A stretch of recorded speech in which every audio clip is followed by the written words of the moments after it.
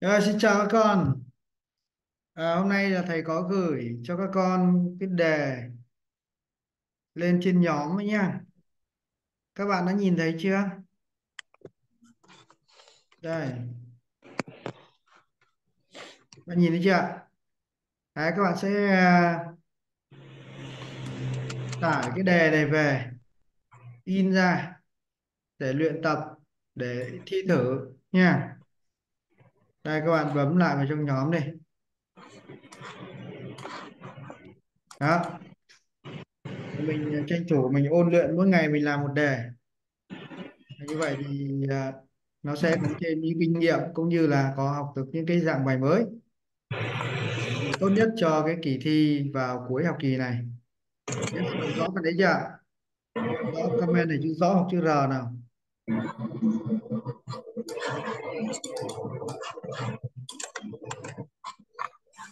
ừ. Được rồi nha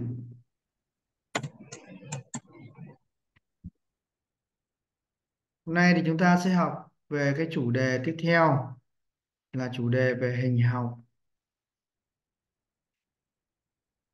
nào cái phần này thì các bạn cũng không cần phải ghi đâu. Chúng ta quan trọng là chúng ta học cái cách tư duy thôi. Còn ghi thì chúng ta sẽ ghi sau nhé. Vì đây là cái lớp học này là cái thời gian ấy, nó không có quá dài.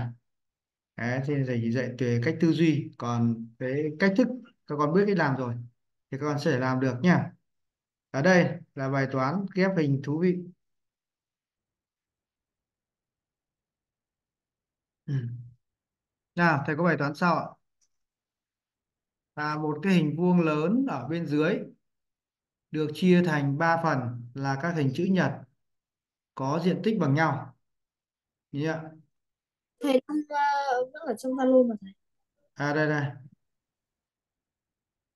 Cái hình vuông lớn ở bên dưới được chia thành 3 phần là các hình chữ nhật có diện tích bằng nhau được chưa và tổng diện tích của cái hình chữ nhật tức là của các cái hình chữ nhật màu đỏ này, thì là bằng 14 cm vuông. Vì yêu cầu là tính tổng diện tích của phần không được tô màu đỏ của hình vuông lớn. Các bạn sẽ có thời gian là một phút để suy nghĩ. Một phút suy nghĩ bắt đầu.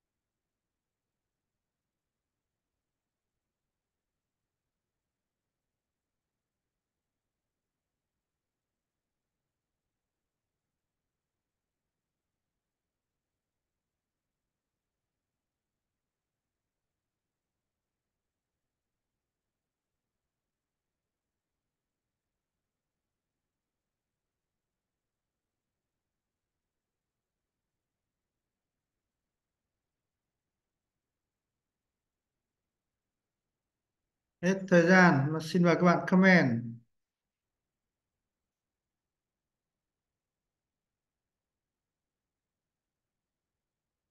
Tôi sẽ đọc các bạn có câu trả lời đúng. Đức Thiện số một, Quang Vinh số hai, Khánh Linh số ba, Gia Thịnh kiểm tra lại, Kim Trung số bốn, Phương My số năm, Mạnh Thắng số sáu, Quang Phúc số bảy.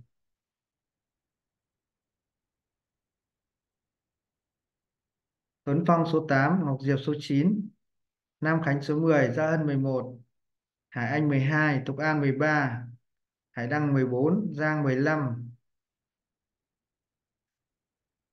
Tấn Phát 16, Vân Khánh 17, Uy Vũ 18, Tuấn Minh 19, Phương Anh 20, Thu Trang 21, Minh Vũ 2, rồi, Huyền Vũ 22, Thiên Lâm 23, Vân Khánh comment một lần nữa con ạ.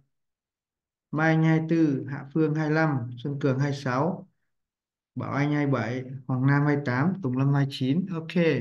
Cái bài này chúng ta sẽ sử dụng cái phương pháp là là tách ghép hình. Thì ở đây chúng ta thấy là cái phần màu đỏ này nó gồm có 3 phần. Một này hai này ba. Bây giờ ta sẽ di chuyển cái phần màu đỏ lên trên. Đấy.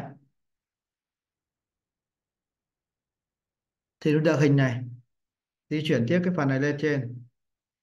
Được chưa? Và như vậy ta thấy cái phần màu đỏ này thì nó bằng một phần ba của cái hình vuông lớn này. Đấy, cái phần không được tô màu đỏ thì nó chính được bằng 2 phần 3 được chưa? Của cái hình vuông lớn đó. Thế mà hay nói khác là cái phần không được tô màu đỏ thì nó gấp hai lần phần tô màu đỏ mà phần tô màu đỏ bằng 14 cm vuông vậy phần không được tô màu đỏ thì sẽ bằng 14 nhân 2 là bằng 28 cm vuông. Và chúc mừng các bạn có kết quả bằng 28 cm vuông. Yes, bạn hiểu phần này chưa ạ? Hiểu comment cho thầy chữ hiểu nào? Ok nha. Nào, tiếp tục.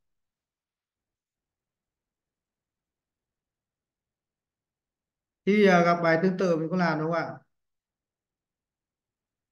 À, thầy có bài tương tự sau nhé bài này thì sẽ à, ta thấy là hình vuông à, lớn ở bên dưới cũng được chia thành 3 phần bằng nhau. Là thì tổng diện tích của các hình chữ nhật nhỏ được tô màu vàng là 24 cm vuông.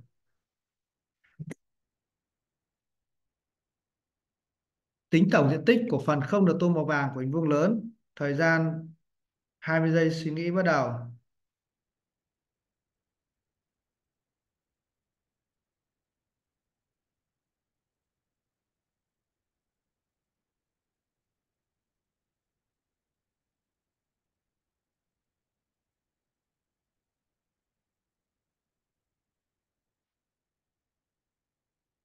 Comment.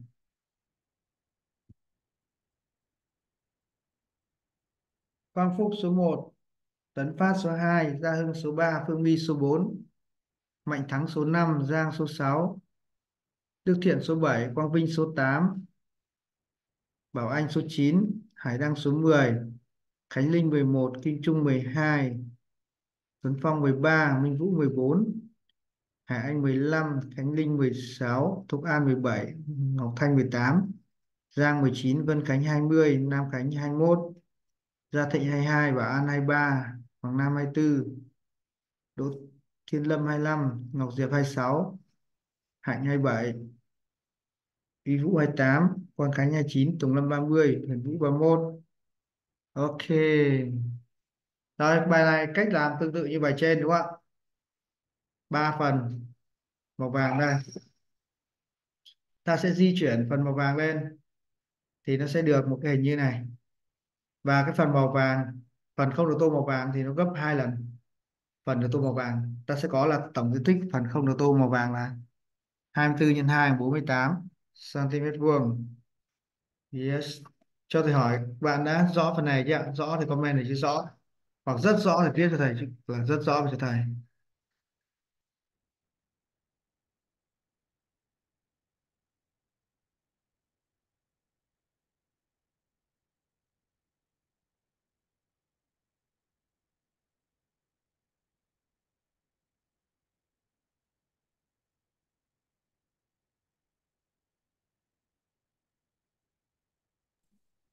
Ê, không nhìn thấy thầy. được rồi. Tiếp theo. Chúng ta sẽ đến với một cái chuyên đề về hình học nữa.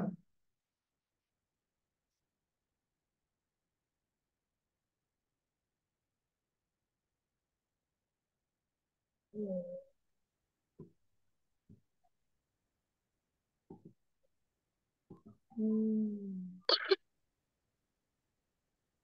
ừm. các bạn viết tên bài học vào phần tiếp theo là chuyên đề về diện tích hình tam giác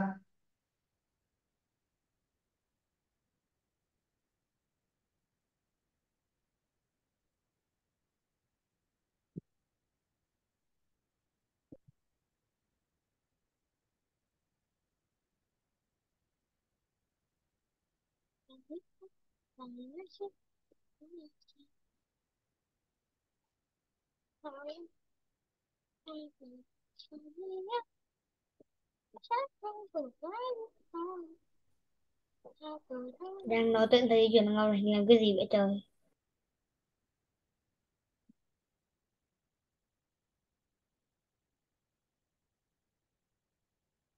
Ngoài cái tiếng ha xuống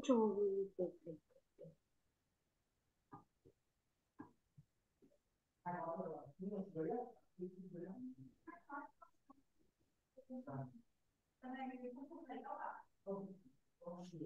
được được chứ cũng cái được la la la la wow ok, rồi. Thì trong hình tam giác trong hình tam giác, các bạn cần lưu ý cho thầy những cái yếu tố sau. Hình tam giác thì nó có mấy cạnh ạ? Comment cho thầy. Tam giác có mấy cạnh? Đúng rồi, hình tam giác thì có ba cạnh.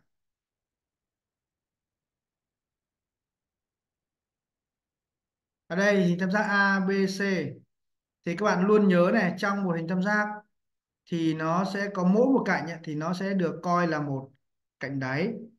Và cái đường thẳng mà nó hạ vuông góc từ đỉnh đối diện xuống đó thì người ta gọi là gì ạ?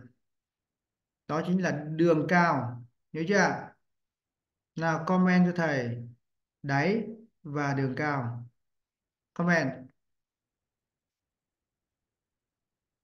Thì ở đây thì nó gọi là đáy BC đường cao AH đúng rồi. Thế thì độ dài của cái đường cao ấy là gọi là chiều cao.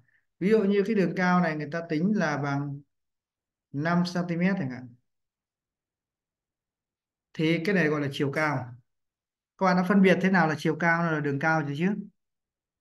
Khi nào thì gọi là chiều cao khi nó có số đo, nó gắn vào số đo hiểu không ạ?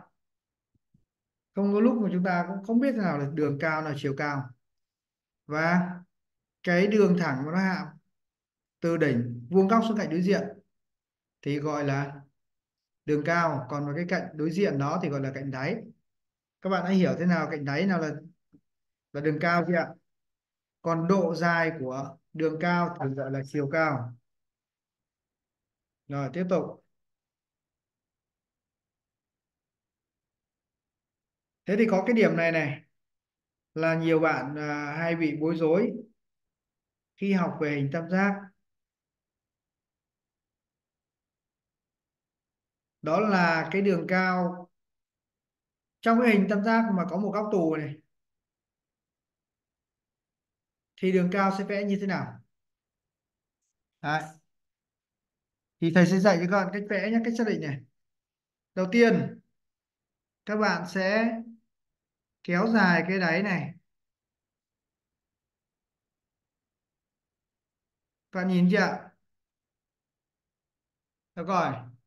Sau đó, bạn lại hạ vuông góc từ trên các đỉnh đối diện xuống.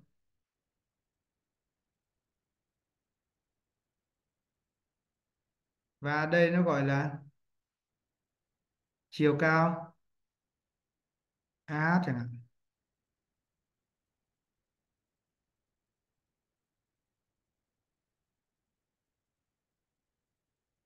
Hiểu chưa ạ? Cho thầy hỏi các bạn đã hiểu cách xác định chiều cao chưa ạ? Hiểu comment chảy chữ. Hờ chứ hiểu nào. Rồi, tốt rồi. Khó nhất là cách xác định chiều cao của cái hình tam giác như này. Ta nhớ phải kéo dài ra, kéo dài phần đáy ra, thì chúng ta hạ vuông góc xuống là được.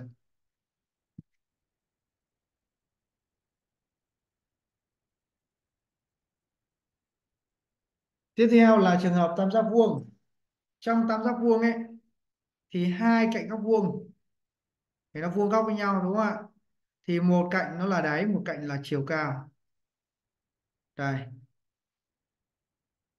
Hiểu chưa các con? Hiểu thì comment cho chữ hờ hoặc là chữ hiểu nào?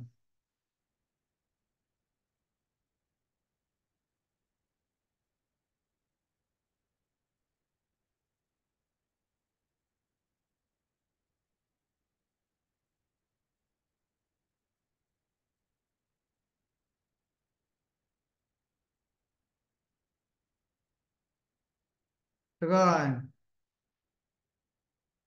Thế thì trong à, cái bài toán liên quan đến hình tam giác ấy, thì chúng ta cần lưu ý những cái phần nào?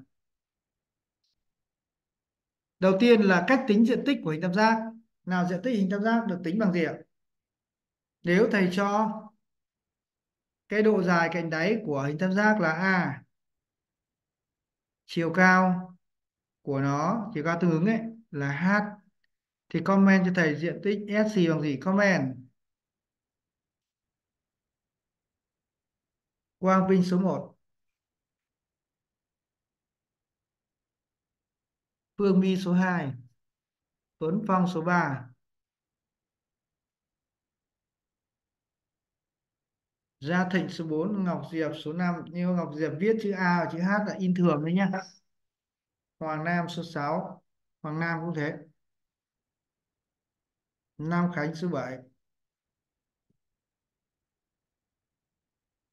Quang Phúc số 8 Đức Thiện số 9 Gia Hân số 10 Trường Phát 11 Hải Đăng 12 Thục An 13 Sơn Tùng 14 Ok.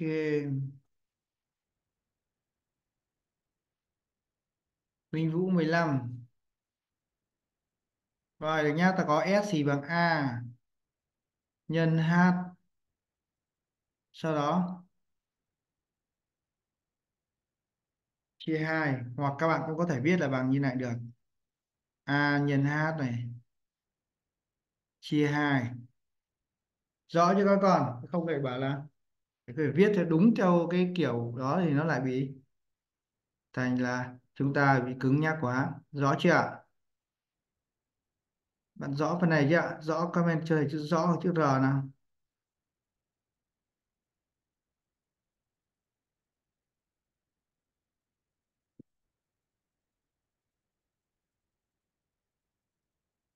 Các bạn viết cái này vào vở diện dạ tích tam giác S thì bằng A nhân H thứ hai.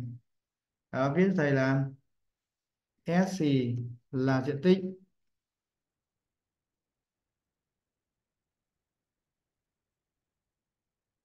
A là độ dài đáy H là chiều cao tương ứng.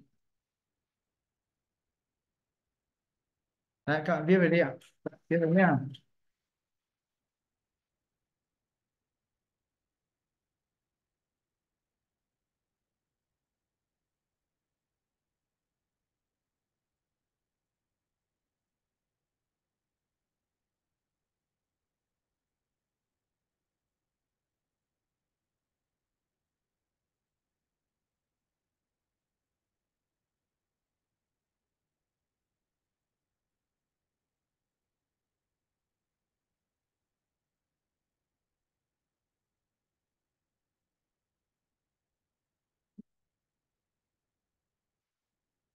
ok. Được rồi nha. Nào, tiếp theo. Vậy thầy ví dụ này. Một, nhưng mà nhớ này phải cùng đơn vị đo nhá. Là một hình tam giác nào. Để tính cho thầy. Là một hình tam giác. Có độ dài đáy. Bằng 8 cm phải chiều cao bằng 5 cm tính diện tích của hình tam giác đó. Comment thầy phép tính và kết quả comment.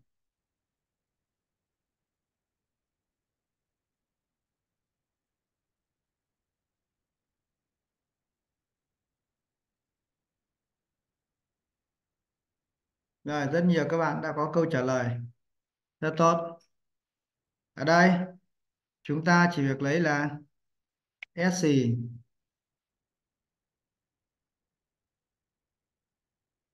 thì bằng 8 nhân 5 chia 2 kết quả bằng 20 cm vuông. Bạn rõ rồi chưa ạ? Được rồi. Thế thì một bài khác. Tính diện tích của hình tam giác có cạnh đáy A bằng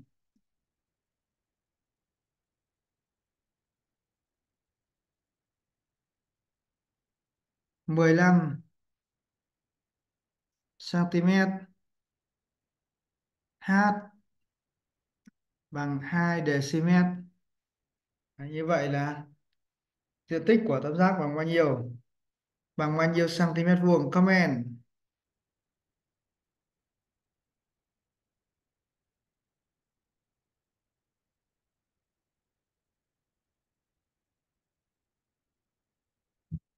Rồi, Mạnh Thắng số 1 Minh Vũ số 2 Quang Phúc số 3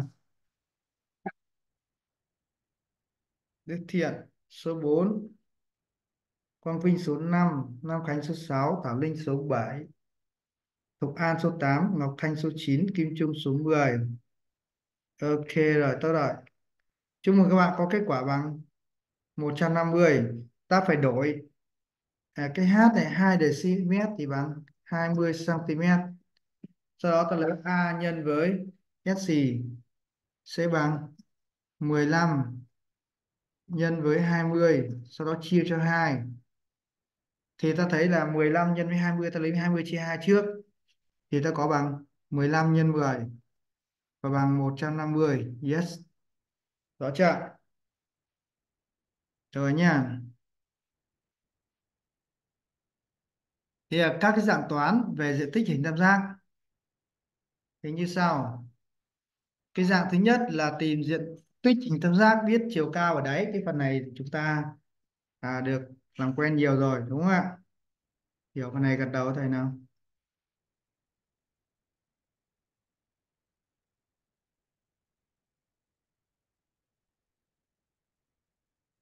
Nào, tiếp tục.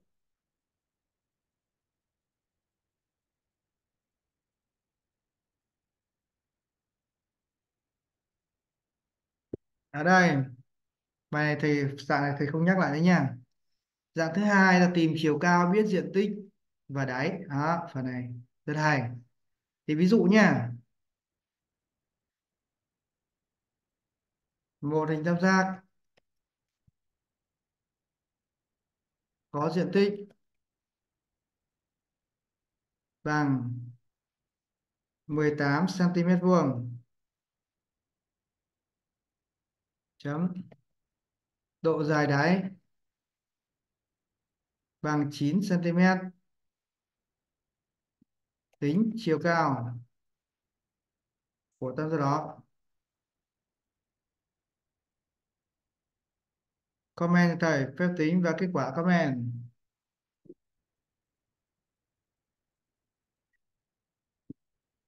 Rồi, rất tốt.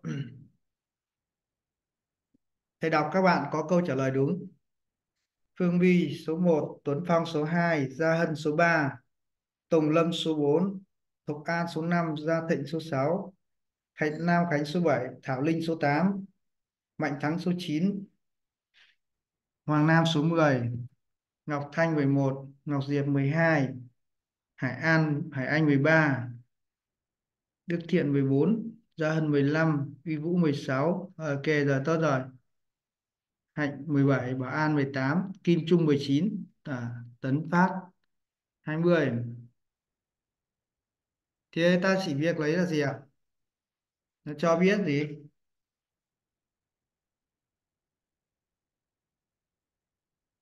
Cho biết diện tích đúng không ạ? Cho biết đáy về tìm chiều cao thì ta có h sẽ bằng s xì nhân 2 rồi chia cho a.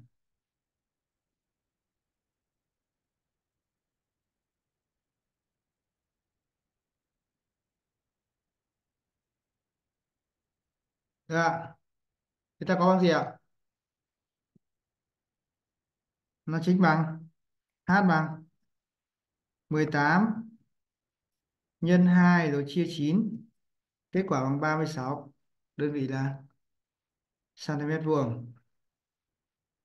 Và 36 chia cho 9 thì bằng 4 bằng 4 lấy 36 chia cho 9 thì bằng 4 cm được chưa ạ? Rất tốt, rất nhiều các bạn đã làm đúng. Các bạn đã thấy dạng 2 dễ hiểu chưa ạ? Chúng ta đến dạng 3 nhé. Tương tự cách tư duy như thế thì chúng ta sẽ có dạng 3 là tìm đáy, biết chiều cao và diện tích. Thế thì ở đây, ta sẽ có là đấy là A. Sẽ bằng SC nhân 2 sau đó chia H nó ngược lại so với phần phần dạng 2 đó chưa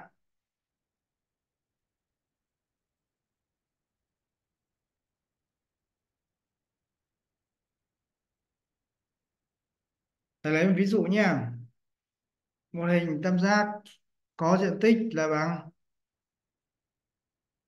12 cm vuông. Đấy. ta có chiều cao h bằng 6 cm tìm đáy cho thầy.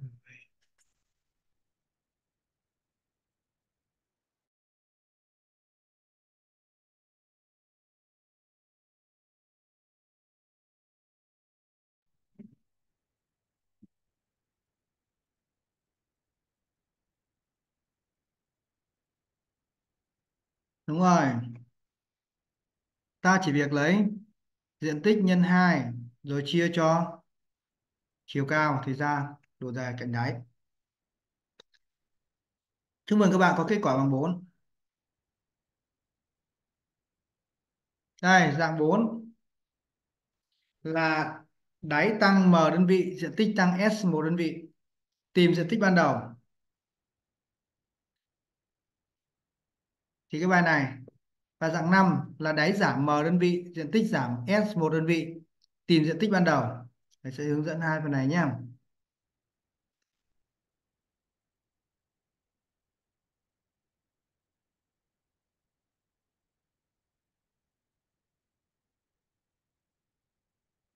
đây.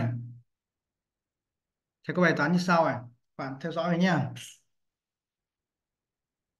các bạn nhìn rõ không ạ? Nhìn rõ comment cho thầy chữ nhìn rõ nào.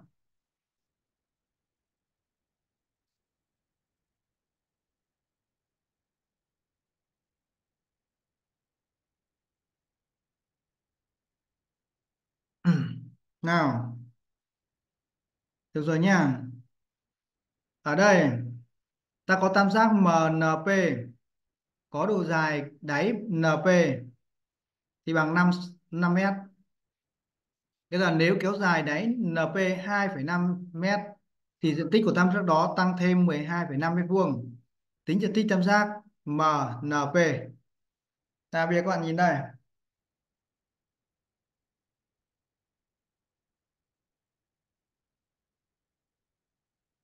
À, các bạn không nhìn rõ thì chia sẻ lại. Được chưa ạ? Bạn à, Giang à, nhìn rõ rồi ok. Nào, ở đây cái đáy NP nó được kéo dài thêm 2,5 mét thì nó được thêm một cái hình mới có diện tích là 12,5 mét vuông. Hiểu phần này ạ? Hiểu. Thì gần đầu thầy nào. Nào tiếp tục.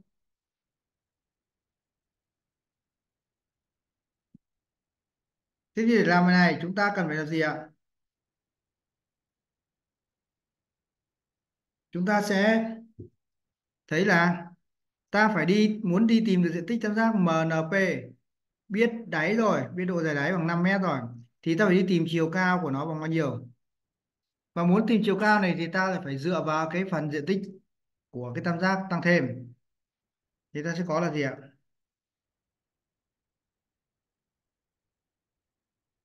Phần diện tích tăng thêm chính là diện tích tam giác MPK. Được chưa các con? Mà nó có cạnh đáy là PK cái đấy PK chiều cao ấy, thì nó chính là chiều cao MH hiểu chỗ này chưa hiểu, thì comment thì chị hiểu.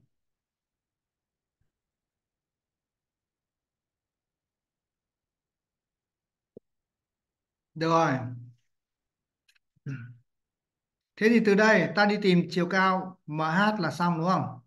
Chiều cao MH là ta lấy diện tích này nhân 2 rồi chia cho độ dài đáy tương lấy 12,5 nhân 2 chia cho 2,5 bằng 10 mét.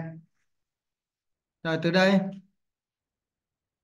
ta sẽ đi tìm diện diện tích của tam giác MNP MNP chiều cao bằng 10 độ dài đáy bằng 5 và comment cho thầy chiều cao ở diện tích tam giác MNP comment rồi đã có bạn làm đúng?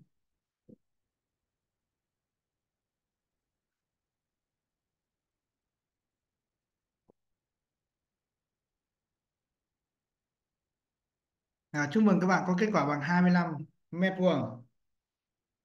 Ta lấy độ dài đáy là 10 nhân với chiều cao. À độ dài đáy chiều cao là 10 nhân độ dài đáy là 5 chia 2 kết quả bằng 25 mét vuông rõ chỗ này chưa ạ? Thì nói lại nhá, ta đi tìm được chiều cao là 10 rồi. Nhân độ dài đáy là 5 chia 2 thì bằng 25 mét mét vuông nhá.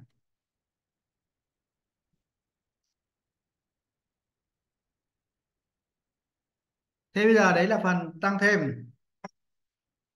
Nếu mà phần giảm đi, ngược lại với nó là giảm đi độ dài đáy thì chúng ta có làm được không ạ? Làm được thì comment cho thầy chữ làm được ạ.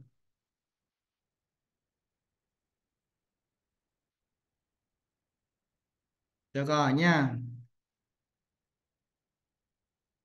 Nó chính là dạng 5 đó là giảm đáy giảm m đơn vị, diện tích giảm s một đơn vị, tìm diện tích ban đầu.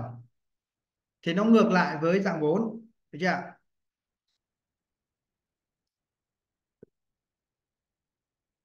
Ta sẽ có là gì ạ?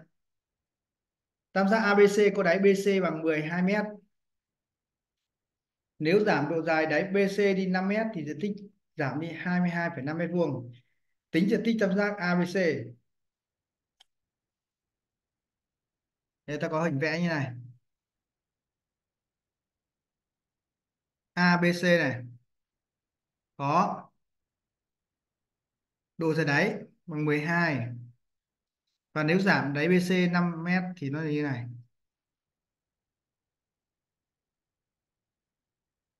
Được chưa ạ? Bây để tính được diện tích tam giác ABC thì ta phải đi xác định được cái chiều cao AH bằng bao nhiêu. Ta thấy phần diện tích giảm giảm đi chính là diện tích của tam giác ACK và còn đấy là bằng CK và bằng 5 chiều cao là, chiều cao AH này rõ chưa ạ? Thì đây tìm chiều cao AH bằng gì ạ? Bằng độ dài đáy à, bằng diện tích nhân 2 rồi chia cho độ dài đáy. Được chưa ạ? Cuối cùng đi tìm diện tích tam giác ABC ta sẽ lấy gì? 12 12 là cả cái đáy đáy đáy to này. Nhân với 9 rồi chia cho 2 ta lấy 12 chia 2 trước thì bằng 6 6 chia 9 bằng 54 mét vuông.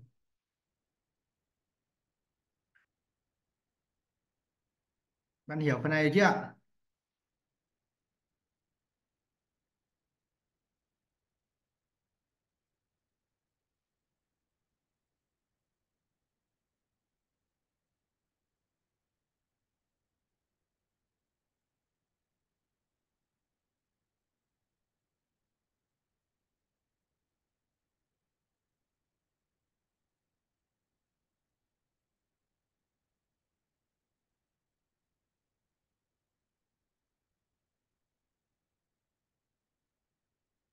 Rồi, tôi đang gửi bài lên nhóm cho các bạn.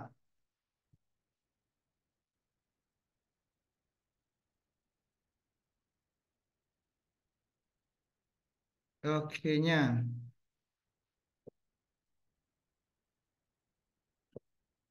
Ở lớp 5 ấy thì có một dạng bài mà các bạn cũng dễ hay gặp.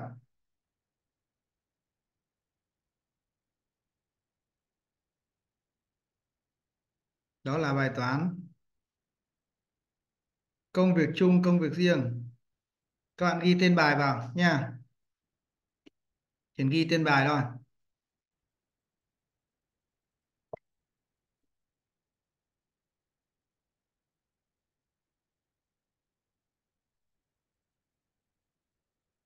vậy bài này nó như thế nào? Chúng ta cùng nhau đi tìm hiểu nha. Ở đây.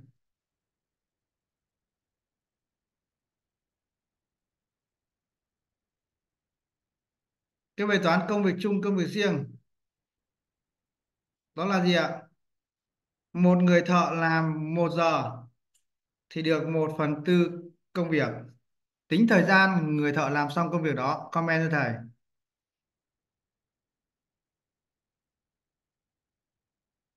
Đúng rồi. Ta sẽ lấy một chia cho một phần bốn thì bằng 4 giờ. Được chưa ạ?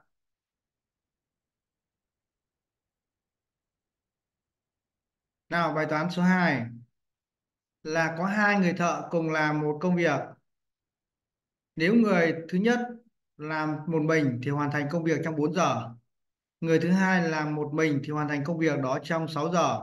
Hỏi cả hai người cùng làm thì hoàn thành công việc đó trong bao nhiêu thời gian?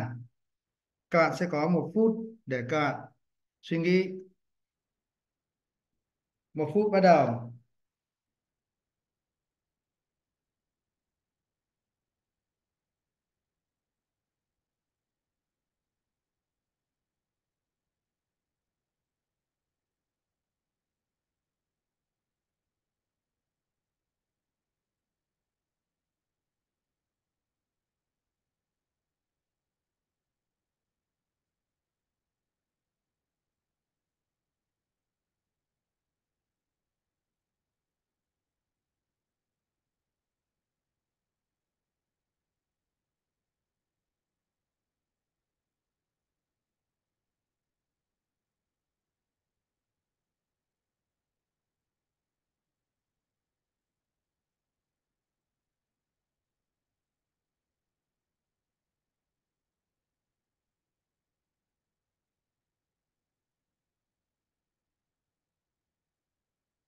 Nào tiếp tục.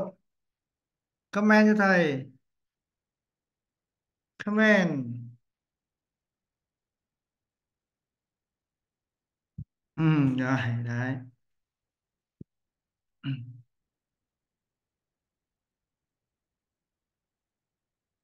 Bài này thì tôi thấy là nhìn thoạt nhìn thì các bạn sẽ thấy là để làm này ta cứ lấy 4 giờ cộng 6 giờ rồi chia 2 bằng 5 giờ đúng không ạ? Nhưng mà rất tiếc nó lại không phải là như vậy. Đây là bài toán công việc chung công việc riêng. Và để làm bài này chúng ta sẽ phải làm như sau này. À, thầy sẽ gửi cái chuyên cái này lên trên nhóm cho các bạn nhé.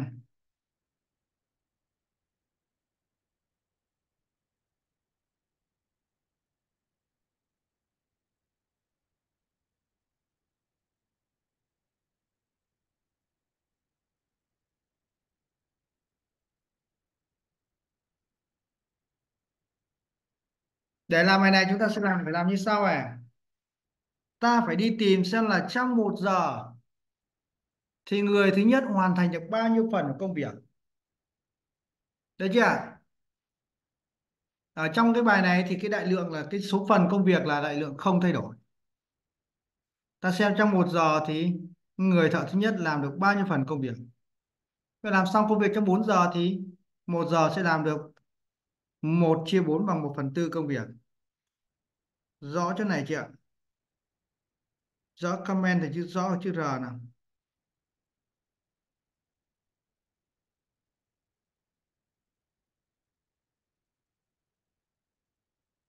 Đó. Nha. Tiếp tục. Ta lại phải đi tìm xem là trong một giờ thì người thợ thứ hai làm được bao nhiêu phần công việc?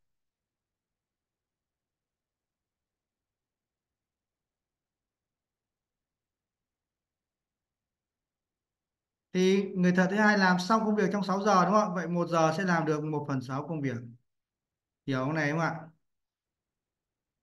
Hiểu, comment thì chữ hờ hoặc chữ hiểu. Ạ. đúng rồi. Thế bây giờ ta đi tìm xem là nếu mà làm chung nhá, đấy là làm riêng làm riêng một giờ thì làm được một phần tư công việc. Người thứ hai là một giờ thì làm được một phần sáu công việc. Thì nếu họ làm chung thì một giờ.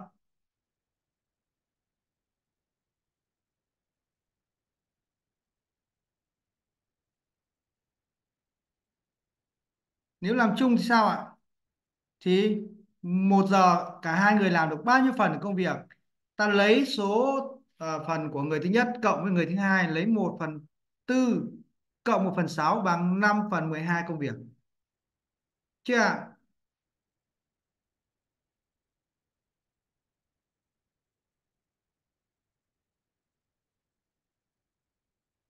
Được rồi.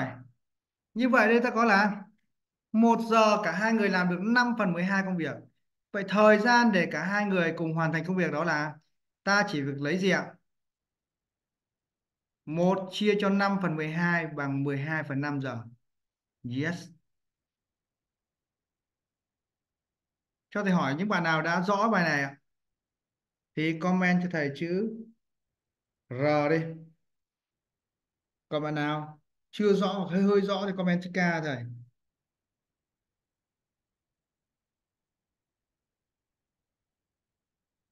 Rồi, có một số bạn thì đã rõ, phần lớn các bạn đã rõ, một số bạn chưa rõ. Thì hướng dẫn lại một lần nữa nhá. Ở đây này. Là đây là bài toán công việc chung, công việc riêng.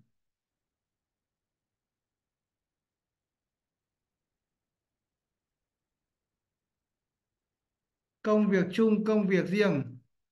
Cụ thể đây là gì ạ? Nếu người thứ nhất làm một mình là làm riêng ấy, thì trong 4 giờ thì xong công việc đó.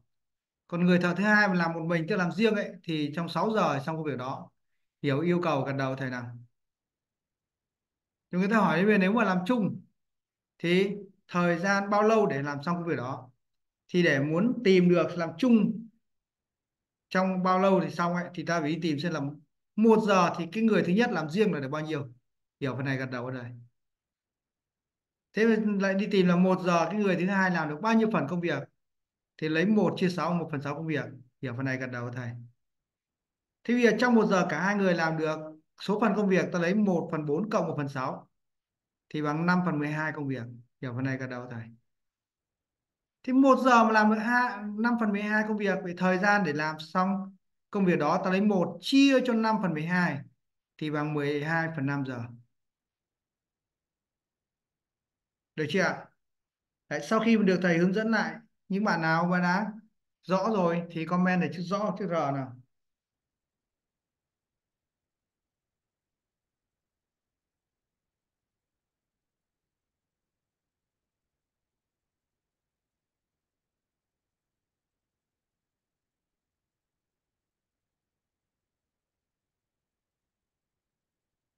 Ok.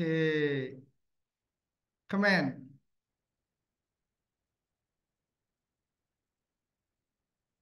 ok nha. Nào, bây giờ cho các bạn làm một bài khác.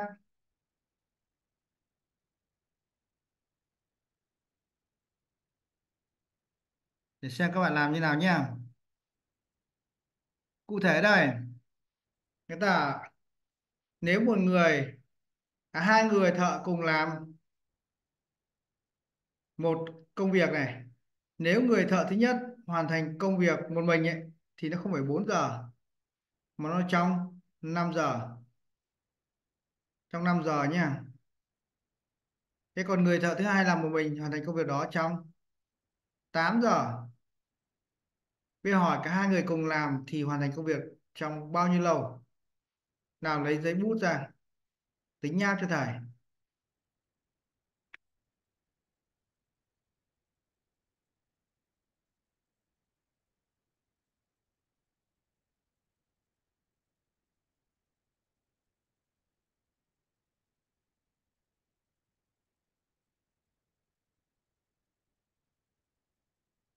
Các bạn sẽ có thời gian một phút để suy nghĩ nha.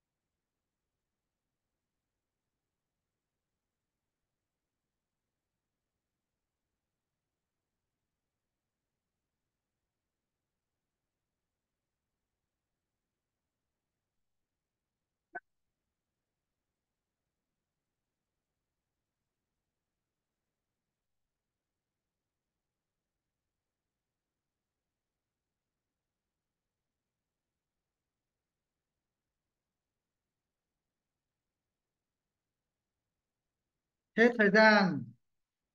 Xin mời các bạn comment.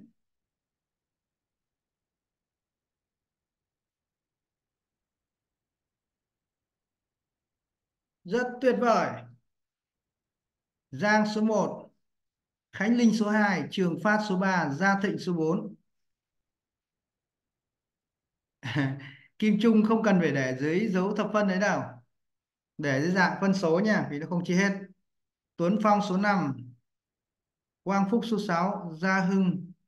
Kiểm tra lại. Gia Hân số 7 Thục An kiểm tra lại. Minh Vũ số 8 Hồng số 9 Nam Khánh số 10 Ngọc Diệp 11 Gia Hưng 12 Diệu Linh 13 Bảo An 14 Thục An 15 Hoàng Nam kiểm tra lại. Quang Vinh 16 Bảo Anh 17 Mạnh Thắng 18 Đức Thiện 19 Thảo Linh 20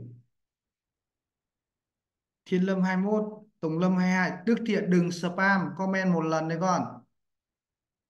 Xuân Cường kiểm tra lại. Hoàng Nam 23 Cương Anh 24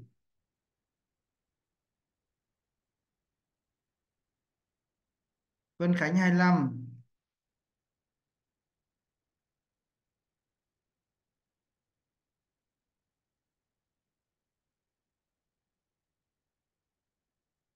Thầy nhắc lại nha. Bạn Đức Thiện không spam, không comment nhiều lần như vậy. Bạn Đức Thiện đâu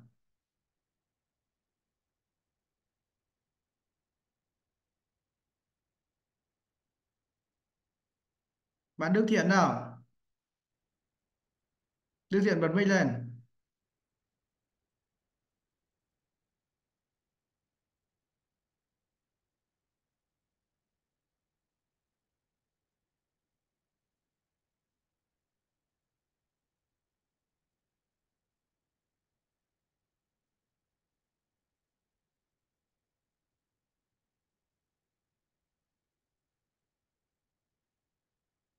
Rồi Đức Thiện nhá.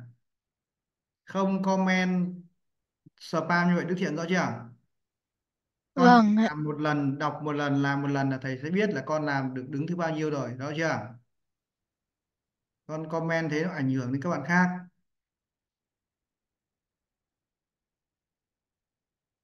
Và quy định của thầy ấy là trong lớp học không được cho phép bất kỳ ai được làm ảnh hưởng đến các bạn khác nha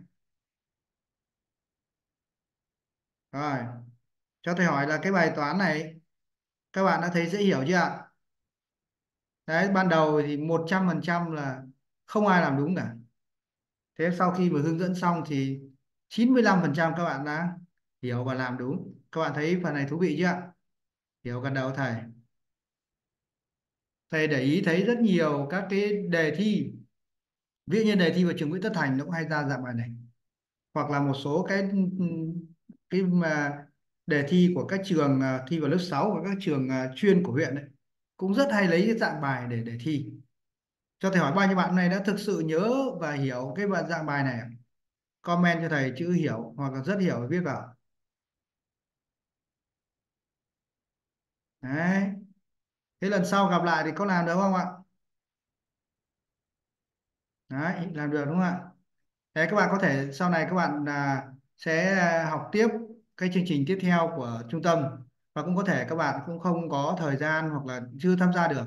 Nhưng biết đâu những cái dạng bài mà các bạn học trong khóa học này mà các bạn à, lại hiểu và mình nhớ đến lúc mình đi thi mình gặp đúng cái dạng này mình làm được thì có tuyệt vời không ạ? Đúng rồi nhá. Muốn à, ok tiếp theo, vẫn ở trong cái bài toán công việc chung, công việc riêng. Ở đây là người ta cho công việc riêng, yêu cầu đi tìm công việc chung. Đúng chưa ạ? Thi vào một cái dạng bài nữa. Và trong phần này là nó cho công việc chung, cho công việc riêng của người thứ nhất, yêu cầu tìm công việc riêng của người thứ hai. Hiểu chưa ạ? Ví dụ này, hai người thợ cùng làm một công việc. Và nếu cả hai người cùng làm thì xong công việc trong 12 phần 5 giờ. Nếu một mình người thứ nhất làm thì hoàn thành công việc đó trong 4 giờ. Hỏi nếu một mình người thứ hai làm thì hoàn thành công việc đó trong bao lâu? Đó, thế về bài này, chúng ta sẽ làm thế nào đầu tiên, chúng ta sẽ đi tìm sẽ là một giờ người thợ thứ nhất sẽ làm được bao nhiêu phần công việc này một mình người thợ thứ nhất thì sao? Làm thành trong 4 giờ đúng không? Ta lại lấy một chia cho một phần bốn bằng một phần tư công việc. Hiểu phần này cần đầu thầy nào? Đúng rồi. Vậy mà lúc nãy là gì ạ? Ở phần trên người ta cho biết là cả hai người cùng làm thì hết 12 phần 5 giờ. Mà một người làm thì hết một phần tư, vậy người còn lại trong một giờ thì? Ở đây ta sẽ tìm được trong một giờ cả hai người làm được bao nhiêu phần công việc? Thì ta chỉ việc lấy là một chia cho 12 phần 5 giờ. Thì bằng 5 phần 12 công việc. Rõ chưa ạ? Thế giờ người thứ nhất làm được 1 phần 4 cả hai người làm được 5 phần 12 có tìm được người thứ hai làm được bao nhiêu không ạ? À ta sẽ tìm là 1 giờ.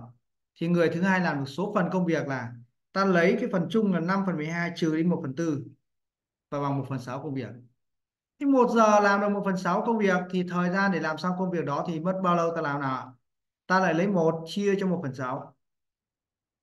Là tìm được cái thời gian để người thứ hai hoàn thành công việc đó. Lấy một, chia một phần sáu bằng một phần sáu giờ. Yes. Bạn rõ phần này chưa ạ? Rõ comment này chữ rõ hoặc chữ R nào?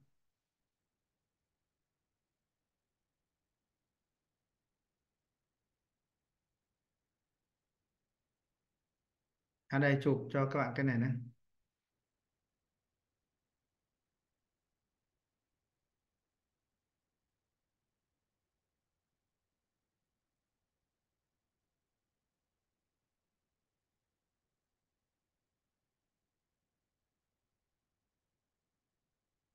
Ok.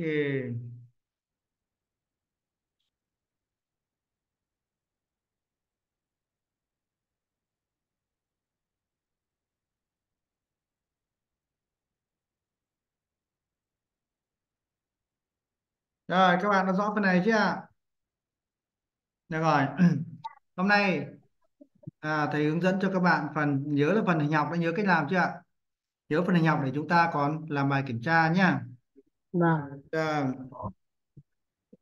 các bạn có muốn được tham gia game trí tuệ chứ có ạ. Yes. nào chuẩn bị các bạn sẽ bấm vào Yes. Lên vào sau. trong cái ờ, phần chat này chờ thầy nhé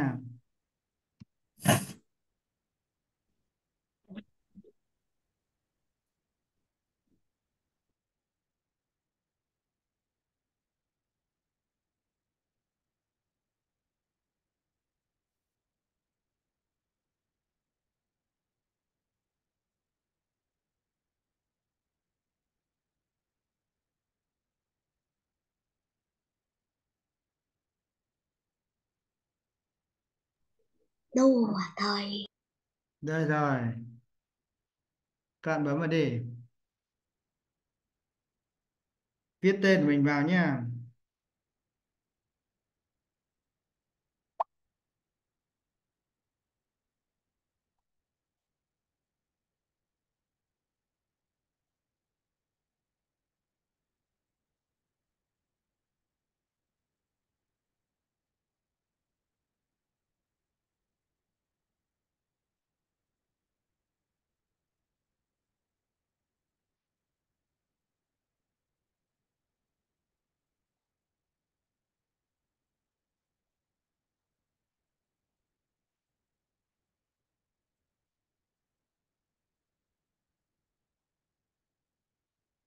khẩn trương khẩn trương nào.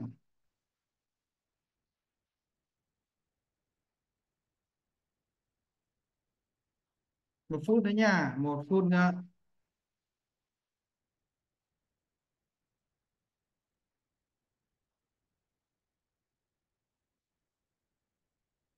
Nào con, bấm vào đẹp bấm nhanh nào nào.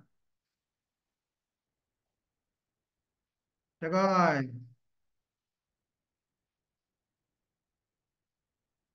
Chúng ta bắt đầu nha ba hai một bắt đầu.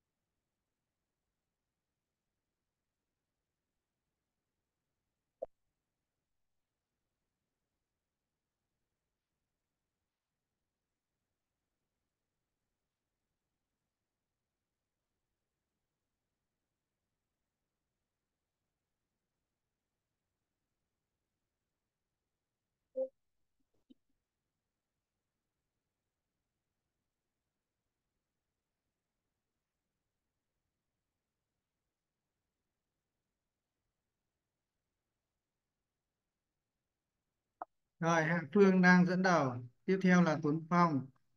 Phương My đã vượt lên rồi. Tuấn Khánh, Tấn Phát. Phía dưới là Trung, Minh Vũ. Mai Anh, Mạnh Thắng Ở Trâm. Uy Vũ. Đức Thiện.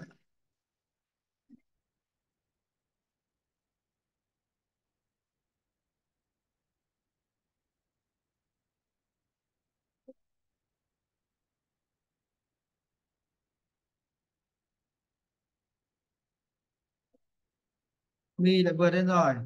Rất kịch tính. Tuấn Phong lại vượt lên mi. Hạ Phương lại vượt lên. Nhóm phía dưới Minh Vũ, Bảo Linh, Trần Gia Thịnh đã lên bên thứ tư rồi. Wow, bất ngờ Phạm Vân Khánh đã vượt lên dẫn đầu. Rất hay. Vương Trường Giang cũng đang lên số 7 rồi.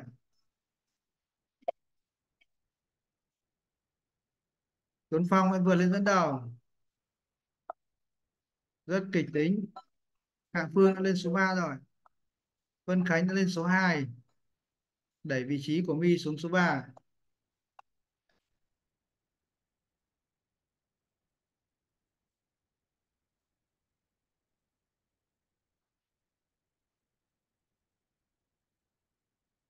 Sao ít thế hả thầy? Thầy ơi, thầy con làm xong rồi xong rồi cứ chờ thôi nha.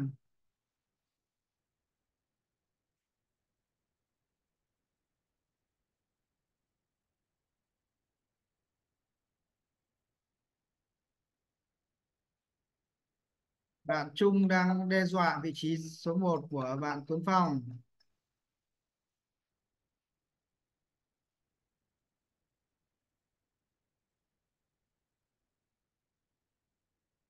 Rất bất ngờ Trung đã vượt Tuấn Phong rồi.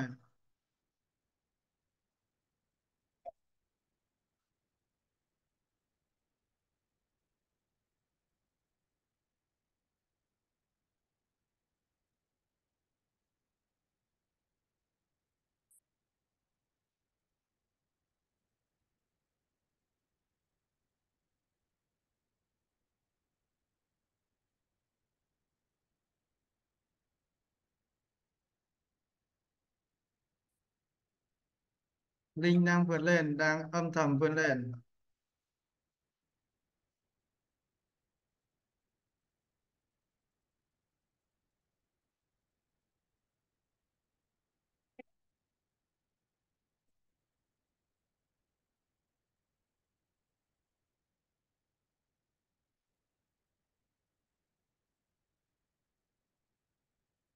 Rồi, xin chúc mừng các bạn sau.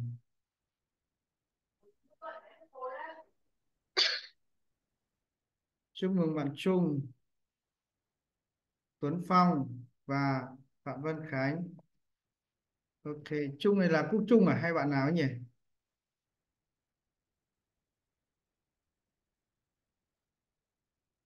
Ok.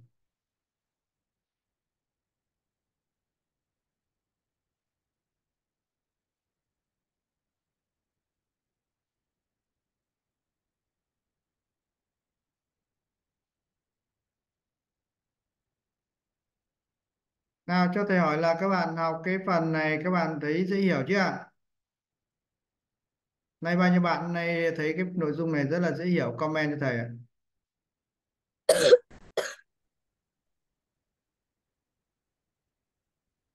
hai nhân với không? Ok. Các Nào, bây giờ tiếp theo là à, xin mời các à, các bạn sẽ mời bố mẹ của mình ạ. Những bạn mà ờ, hiện tại thì có rất nhiều bạn đang học ở cái lớp toán 5T1, 5T2, 5T3 thì các bạn đã học đang học chương trình của thầy rồi. Thì thầy sẽ giới thiệu cho các bạn một cái ờ, chương trình để mà các bạn khác chưa có điều kiện tham gia thì có thể được ờ, đăng ký tham gia. Và xin mời các bậc phụ huynh ạ. Các con mời bố mẹ của mình qua họp để thầy hướng dẫn cho nhé. Rồi các bạn mà thế những bạn ờ, học 5T1, 5T2, 5T3 không ờ, cần 5T1, 5T2, 5T3 thì các bạn có thể được nghỉ trước nhá. con chào thầy Con chào thầy.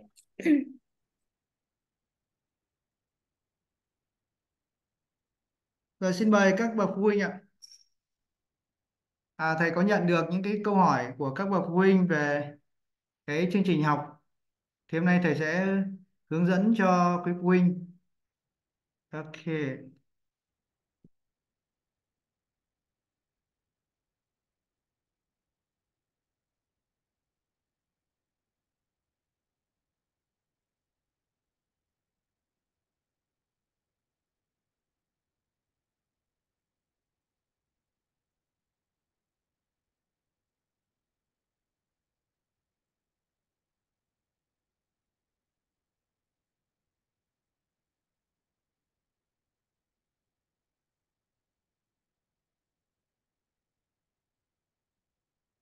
Ừ.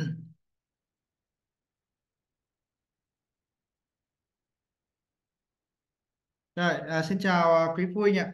Các con à, mời bố mẹ của mình nhé. À, thầy sẽ giới thiệu nhanh về cái chương trình học tập của lớp toán tư duy. À, chương trình lớp toán tư duy online 5T3. Thì à,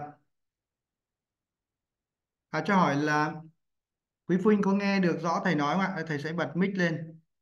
À, thầy bật mic rồi đấy ạ. Quý vị có nghe được không ạ? Thầy.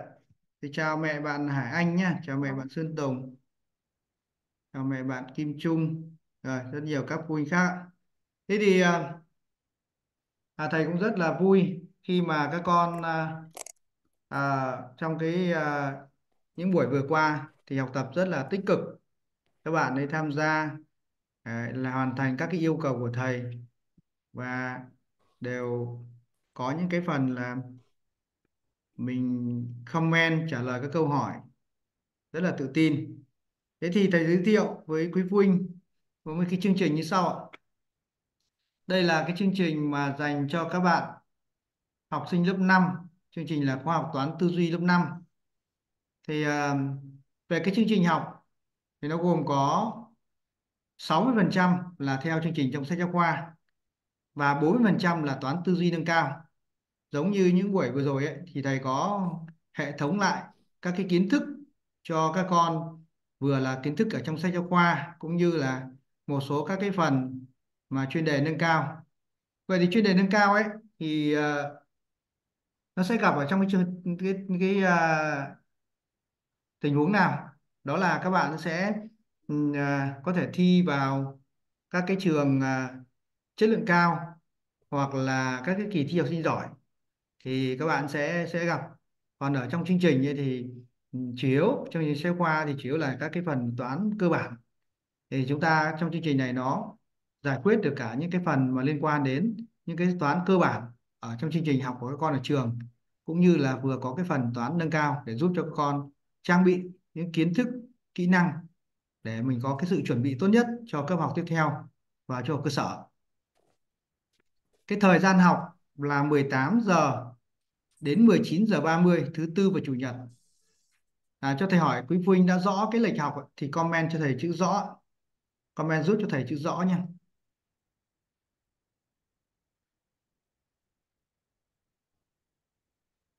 À, quý Vinh, huynh à, comment giúp ạ. Thầy bật ô chat rồi ạ. À, cái lớp này thì à, nó sẽ có nhiều thời gian hơn so với lớp học mà à, chương trình bổ trợ này. Với lý do là à, chương trình này thì nó sẽ lịch học là từ 18 giờ đến 19 giờ 30 tức là một tiếng rưỡi. Đấy, trong cái thời gian một tiếng rưỡi đấy thì các con học các con có đủ thời gian để các con ghi chép. Không giống như ở trong chương trình này thì vì thầy không có à, cái thời gian nó giới hạn.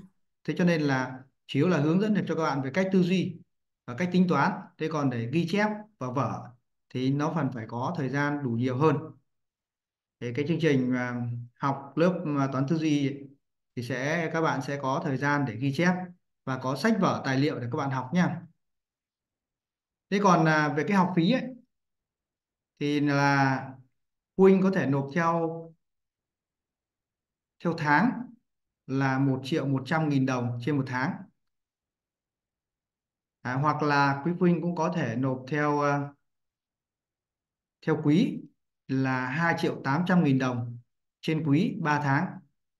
Thế trong uh, các con đã học hết học kỳ 1 rồi thì chúng ta chỉ còn học kỳ 2 Đấy, đó là cái tiền tài liệu thì các con sẽ nộp là 120.000 tiền sách vở cho cả năm học là 120.000 nhé. Đó. đấy là về cái phần học phí thì phụ huynh có thể nộp theo theo theo học phí theo tháng cũng được hoặc là theo quý cũng được. À, đây là cái thông tin. À, thông tin chuyển khoản ạ. à, cho thầy hỏi là những mẹ nào à, có mong muốn đăng ký cho con ạ thì cứ giúp comment giúp cho thầy. Là em đăng ký ạ để thầy có à, hỗ trợ cho cho quý phụ huynh ạ.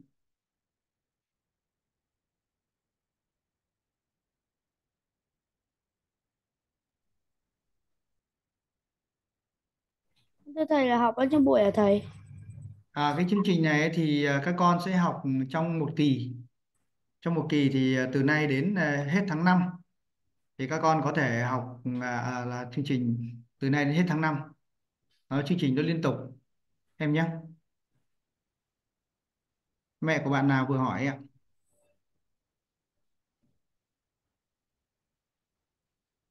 Được rồi ạ. Xin mời các phụ huynh khác ạ. Thầy cho em hỏi là hình thức học là hình thức học online hay là offline hả thầy? hình thức học là online em nhé. Đây là lớp này là lớp dành cho các bạn online. Nhà mình ở đâu hả em? Ừm, nhà em ở ờ, Việt Hưng Long Biên. à vâng Việt Hưng Long Biên thì các bạn ở xa thì chỉ học online em ạ. Còn offline là đối với ờ, các bạn mà ở gần trung tâm thì các bạn mới học on offline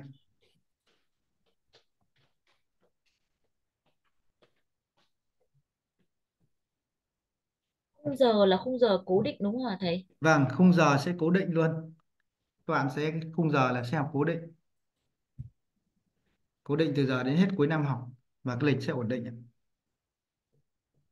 Bạn nhà em thì đang bị trùng mất ờ, buổi ờ, thứ tư.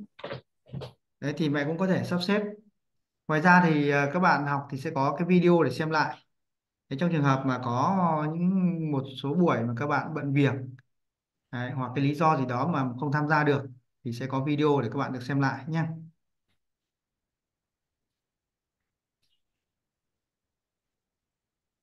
À, cho thầy hỏi còn mẹ nào có câu hỏi nào khác nữa không ạ?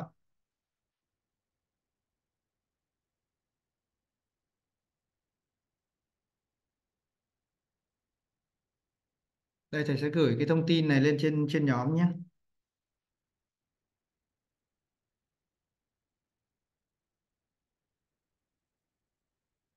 Đấy.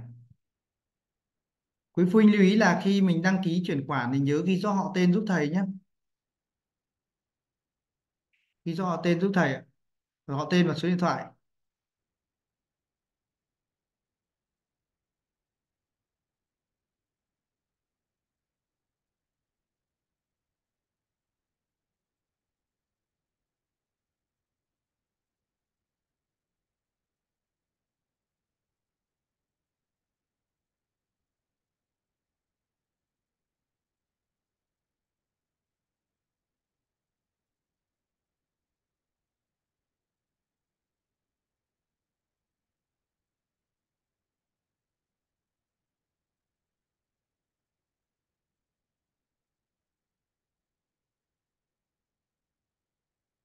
Ok.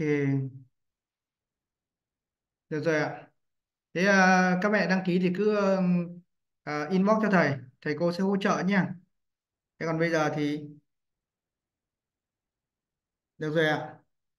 Bây giờ chúng ta sẽ à, tạm biệt ở đây nhá. Có phụ huynh nào có câu câu hỏi gì thêm không ạ? Rồi được rồi. Có gì thì phụ huynh sẽ nhắn tin nhé rồi tạm biệt ạ. Vâng cảm ơn thầy ạ. Vâng, bye bye. Chúc quý vị Bye. ngon ạ